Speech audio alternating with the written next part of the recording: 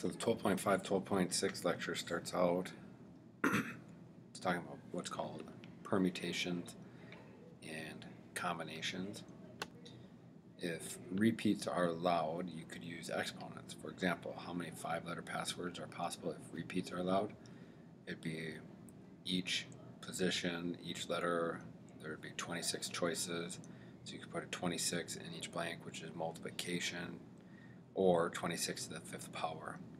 That would turn out to be 11,881,376. Also, uh, if repeats are not allowed, we could use something called factorial.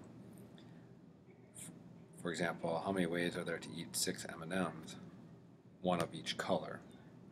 Well, the, if you laid out one of each color, the first M&M, you'd have six choices. Then the next choice, you'd only have five left because you already ate one. Now you've eaten two of the colors and there are only four, so it goes six, five, four, three, two, one. That's multiplication, again, or what's called six factorial, which to do six factorial, you're going to want to go to the calculator and you'd type in the letter six or the number six first. Then you go into math you have to slide over to the PRB for probability menu and you can see that the number four choice is factorial, the exclamation point, and you hit enter and that's how you get 720.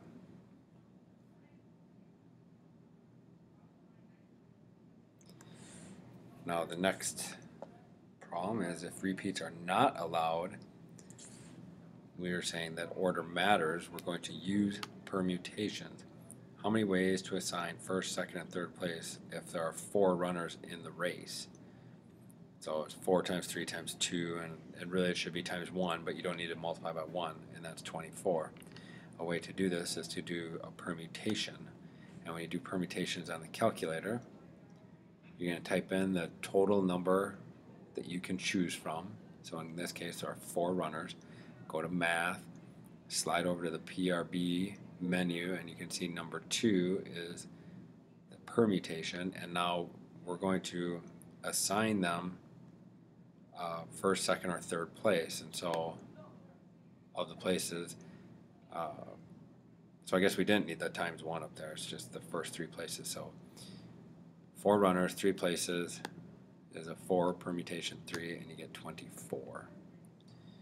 If Repeats are not allowed and order does not matter. We use what's called a combination. So how many ways can you put three ingredients on a pizza if you have four choices? In this case, if you put cheese, pepperoni, sausage on the pizza, that's what you order. Somebody else could walk in and do pepperoni, sausage, and cheese, and they'd get the exact same pizza.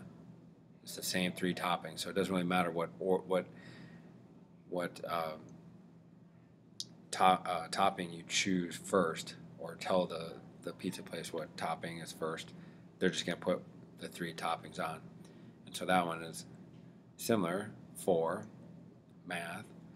Slide over the probability menu, go down and select number three, which is the combination, and then you say three. Now, because order doesn't matter, we, we don't have as many ways to do this, and so it's significantly lower number because pepperoni, sausage, cheese is the same as cheese, sausage, pepperoni. But in the first example with um, permutations, it would be considered different.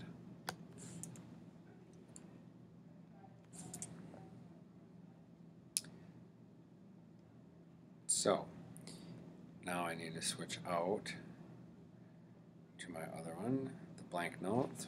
And we're just going to run through some examples. Um, at any time after I read the question, you can pause it so that I don't give you the answer. I'll try to give some wait time after I read the question.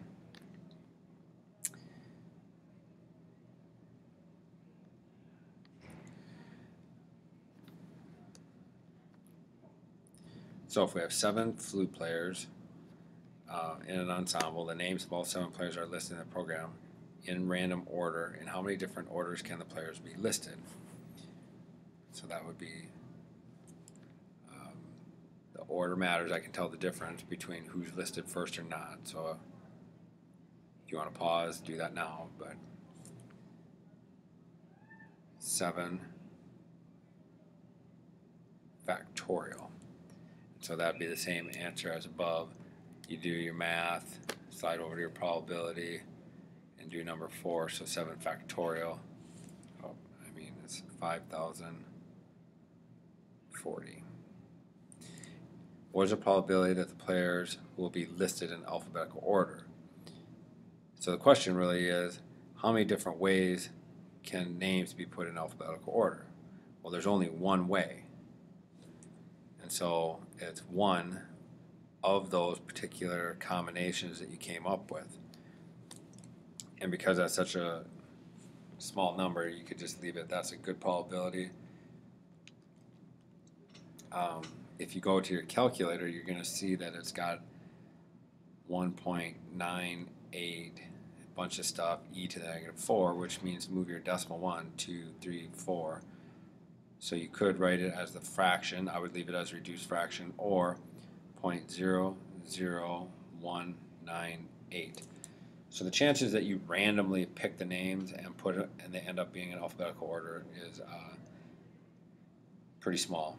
After the performance, the players are backstage. There's a bench with only room for four to sit. How many possible seating arrangements are there?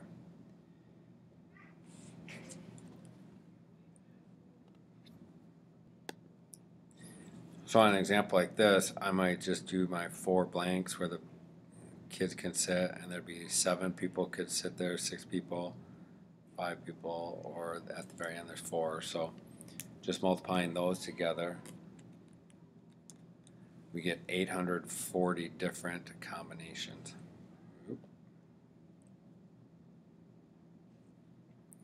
Gina Maria's Pizza has 12 toppings for pizza. You are ordering three topping pizza. How many different ways can you order this? Well, again, it does. If you call up and say I want cheese, pepperoni, sausage, and somebody else call, calls and says they want sausage, pepperoni, cheese, it's exactly the same thing. So it's 12C3. And if you do a 12C3 on your calculator, 12, you go over to math, you hit the probability, go down to NCR, then put in the 3, you end up with 220 different ways that you can order a pizza. There are eight girls running in the finals of the 100 meter dash at a track meet. Medals are awarded for first, second, and third place. How many different results are there? So again, I have eight runners, but this time it matters what place I get, so I can get first, second, or third.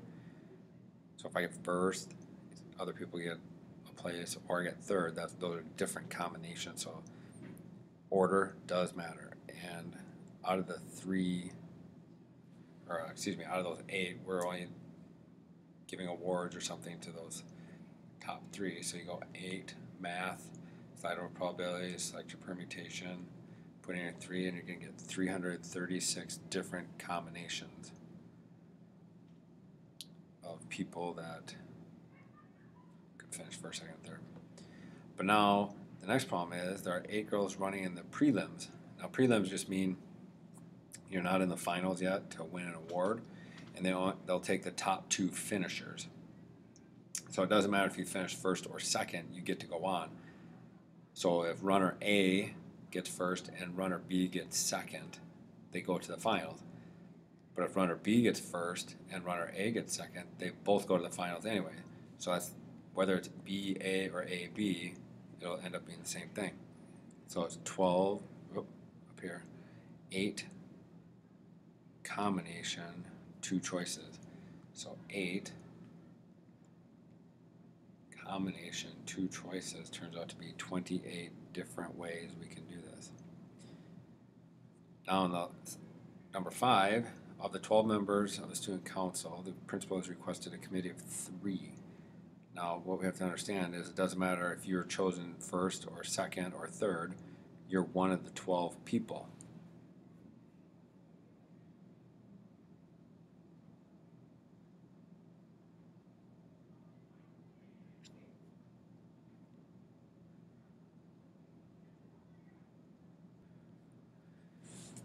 So we have 12 members of the student council. But it's a combination because I only have to be one of the three to be on that committee. So twelve mass, slide over probability combination three, and we're getting two hundred twenty. Minnesota license plates traditionally have three letters followed by three digits. How many of these different license plates are possible? So remember, there are three letters, which would be 26, 26, 26, and then three digits, which would be 10 digits, 10 digits, and 10 digits. So if we simply multiply all these out, 26 times 26 times 26, you can do that uh, 26 cubed times. You can even do times 1,000. We get 17 million 576 And then finally, what is the probability that the license plate has no repeated letters or numbers? So on an example like this, you have to think about the first three are letters, so there are 26 letters to choose from here, but now you can't repeat, so you can't use that one. So there's one less, and then there's one less here. And then the last three would be the digits, so 10, 9, and 8.